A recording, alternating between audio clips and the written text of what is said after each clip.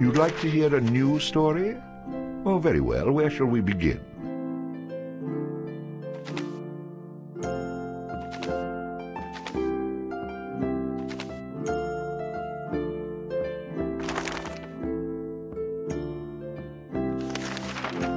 allows the bard to equip and use two-handed weapons. Allows the bard to fight with a dirk in one hand and a sword in the other. Allows the bard to equip and use a flail. The bard will automatically bash with his shield after blocking, stunning his enemy. A powerful charging attack which stuns enemies, used with a sword skill. A powerful ranged shot which passes through its target, used with a ranged skill. Gives the bard a chance to score a critical hit on his enemies, inflicting additional damage. The bard gains bonus coins for any treasure he finds. Allows the bard to equip and use one man a poet and a rogue, with no friends to speak of, no one to mourn his passing, should it come to that. Even those beside him are no more boon companions than bond servants, summoned by sorcery and song, as cold and indifferent to him as the light of a wandering star.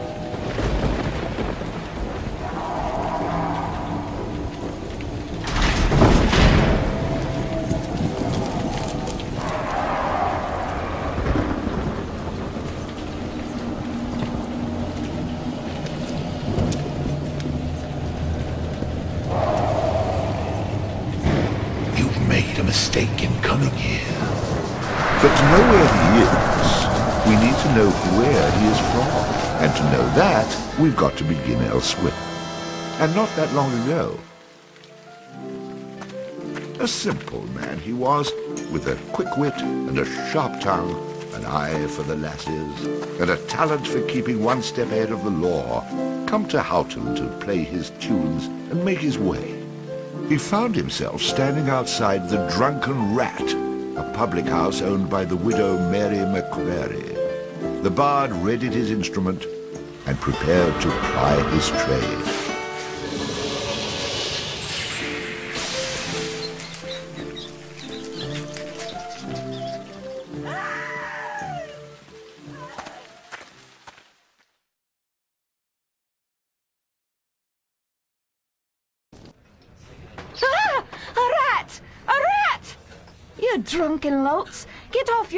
And kill it. I'll save you, fair damsel.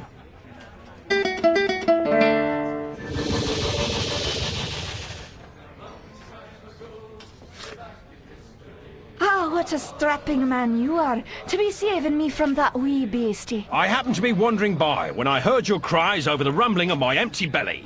You aren't hurt, are you? No, but aren't you the sweet one for asking? See, I've an idea. If you'd be willing to do a little job for me, I'd give you a good meal and a warm place to lay your head for the night. I'd be only too happy to handle anything you'd like to heave my way. Then it's a deal. For it's a wee rat problem I've got in my cellars, and if you could do away with them, I'd be ever so thankful. Rats, you say? In the cellar? How cliche of you, love. But I'll forgive you this once. You'll need a bigger sword than what you've got, in case you run into trouble. Oh, and uh, my sword is quite big enough to handle any troubles you might have.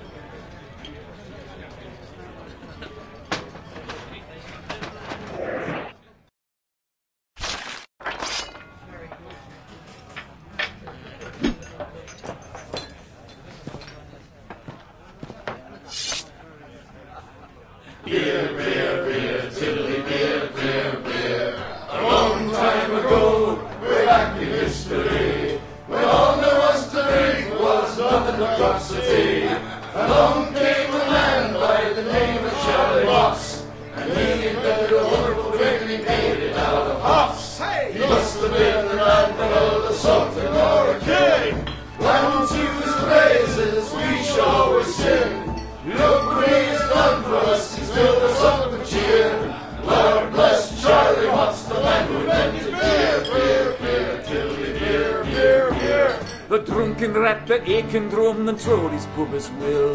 One thing you can be sure of, it's Charlie's beer they sell. So all you lads and lasses at 11 o'clock you stop for five short seconds. Remember Charlie Mopps.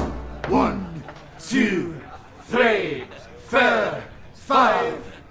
Hey, he must have been an admiral, a sultan, or a king. Come to his praises, we shall always sing. Look what he's done for us, up with cheer. Lord bless Charlie Mopps, the man who invented beer, beer, beer, tilly, beer, beer, beer. A better amount a bushel of hoops you steal around with your stick. The kind of lubrication to make your engines tick. Thirty pence a wallopedy will keep away the quacks. It's only eight pence halfpenny and only six in tax. One, two, three, four, five. Hey, must have been an admiral, a sultan, or a king. Unto his praises we shall always sing. Look what he has done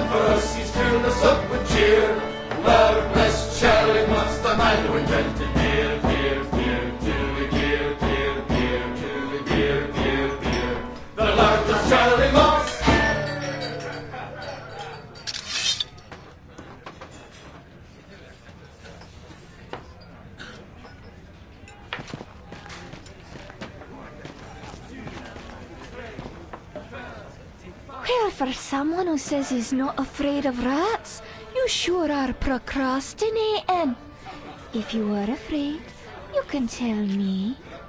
I won't have any interest in speaking with you any further, but you can tell me.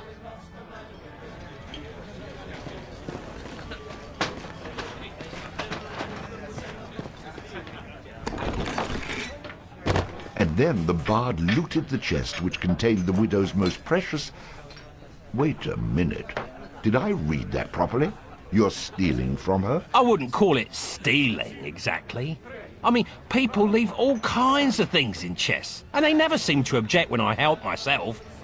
Think of it as a public service. I mean, who knows how cluttered these chests might become if I didn't do my part to help clean them out. In hindsight, I'm surprised it took the bard this long to get his hands on Mary's chest.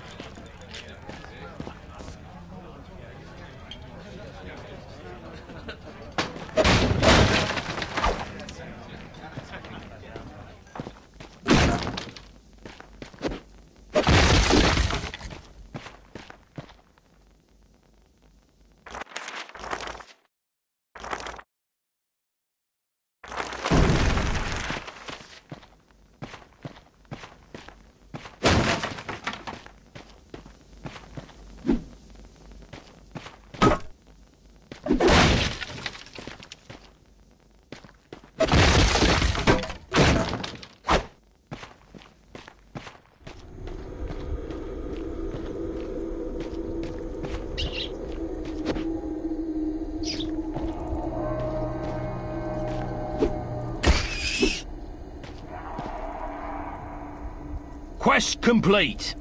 All hail the bard, rat killer, and rodent bane, who has bravely made the cellars once again safe for buxom barmaids and wanton widows. Or has he?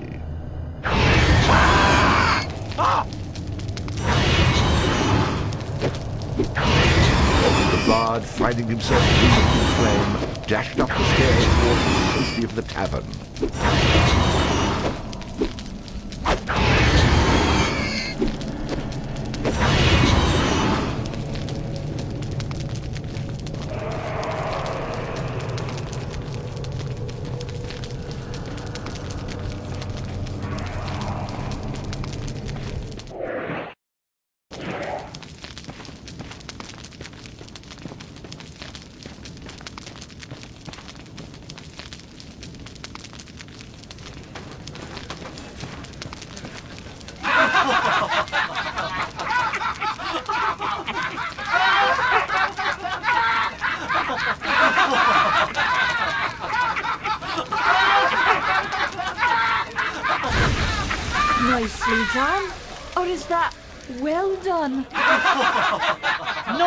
Done. More like medium rare.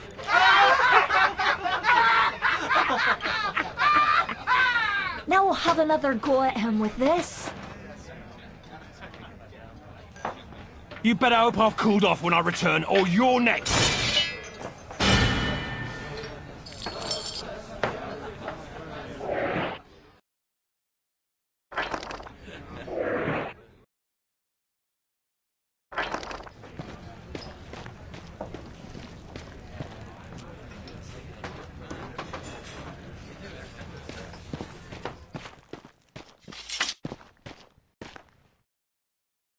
Who the hell are you? How'd you get down here? Look here, laddie, don't be concerning yourself with such things right now. I'm here to help you with your rat problem. Any brute can swing a sword. If you really want to slay that hairy beastie, try playing this tune on that lute of yours. Go on, clear off out of it. I've no use for you. I'm not offering to go with you, laddie. I'm offering you a bit of song and magic that'll bring you back in one piece. Great. So now the rat gets dinner and a show. If it's so bloody powerful, use it yourself and save me the trouble. Would that I could. But I'm not a man of action like yourself. So do yourself a favour and take a little charity when it's offered, my boy. Done. Show me what you got.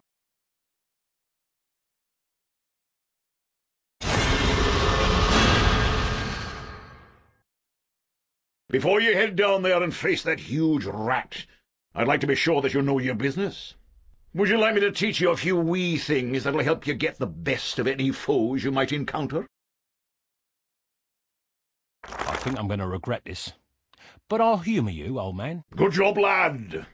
You already know how to attack, but let's talk about defending yourself. Press the defend button. What? What are you on about? You're completely insane, aren't you? You know, I ran into this other guy once. He kept talking about mice I couldn't see.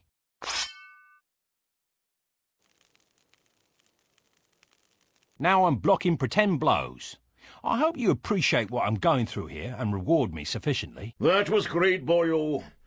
You'll notice that instead of holding down the button, you'll have to time your defense to the enemy's attack. Of course I have to time it. How else am I going to block anything? Now, laddie, let's teach you how to play that lute of yours and make some magic. What? Does my name not mean anything to you? The Bard? Did you not see me summon that rat a few moments ago? Press the summon menu button. You're not listening to a word I'm saying, are you?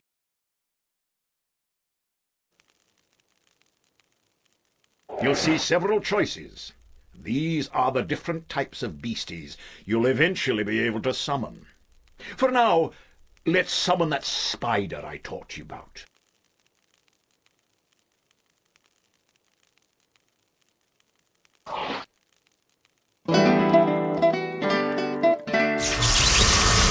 That's useful, at least. Finally. This part is important, so listen up, laddie.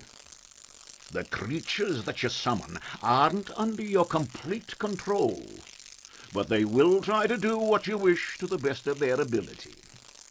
Try to give them orders. For example, try to make your little friend there become more aggressive.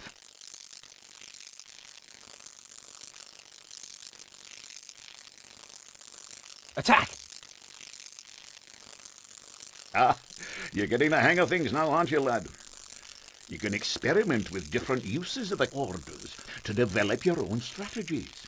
Now, at times, you may want to get rid of a creature you've summoned. Simply press the creature's button. That's the way to get rid of an unwanted creature.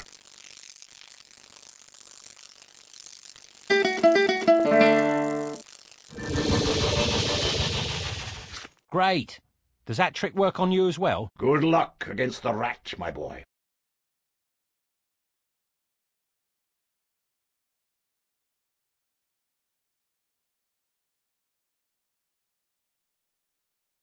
In the future, I'm going to have to learn how to dodge these mysterious old man types.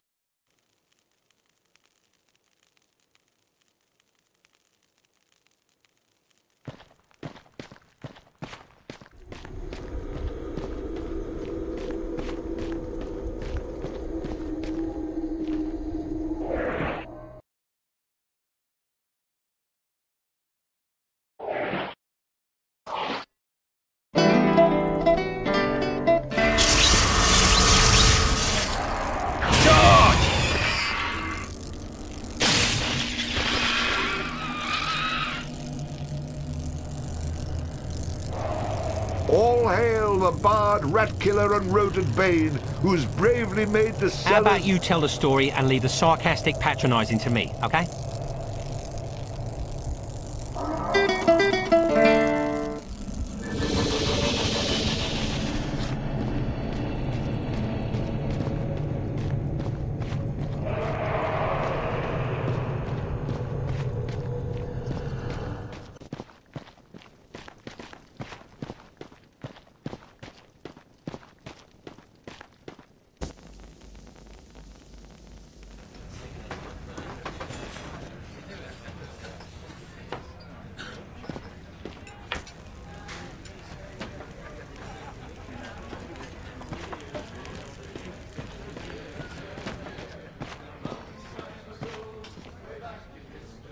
Away again, did you?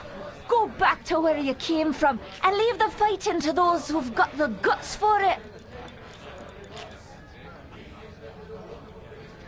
I've plenty of guts, milady. Which is why you needn't trouble yourself about that rat any longer. You mean it's dead? Oh, thank you. I can't tell you how grateful I am. 'Twas the least I could do for a damsel in distress. Now, how about that meal? Why don't you wait while I fix you some leftovers? Oh, and your room in the back is almost ready.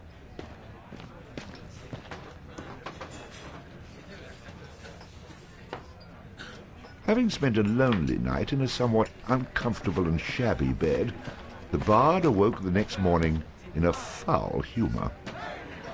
You should go speak with that strange friend of yours. He was starting to scare away my regular customers. I had to chase him out.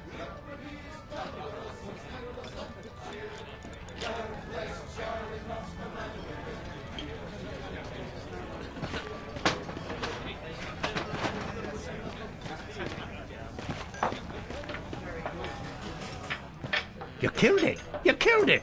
The fire-breathing rat in the cellar was the best practical joke we had. Now what are we supposed to do to entertain ourselves?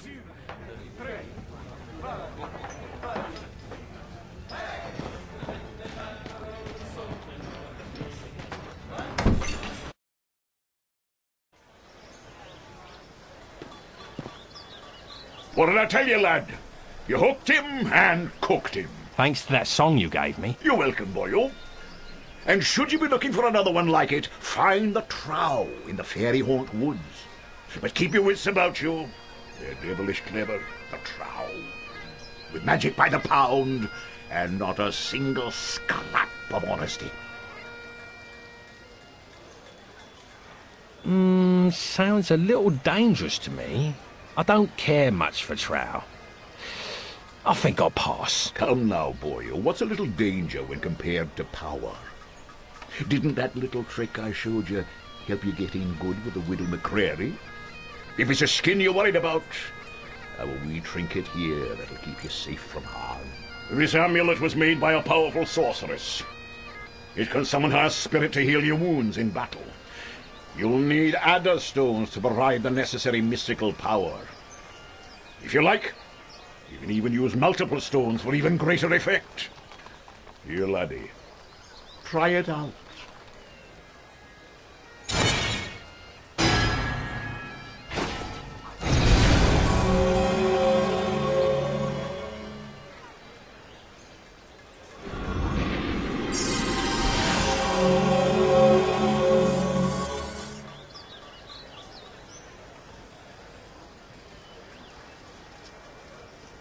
Is she? She's beautiful. I'll take the amulet, old man. And, uh, what were you saying about a trow? Find him in the fairy haunt woods. Bannerfeet be his name. He can teach you magic enough to impress any lass.